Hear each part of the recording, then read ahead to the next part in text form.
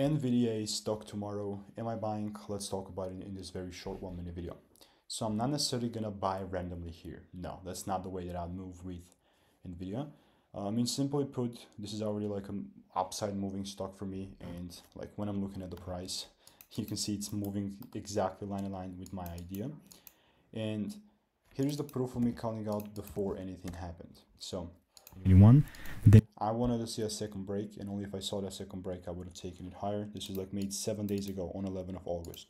11 of August was, this is 9 of August, this is 12 of August, so that's exactly like over the weekend when I made the video, so all I'm to do is just, alright, this vertical line is when that video was made. And anything after is just the price doing its thing, you know, and you can see it is really pretty much before anything happened. So what I'm going to do here is just bring this to the front you just simply wait because best case scenario he hits the break uh, the TP or the take profit and the worst case it just hits the break even and I walk away with zero. So that's that. If you want to learn the strategy for free just check the first link in the description. On reviews or five stars and I'll see you in the next one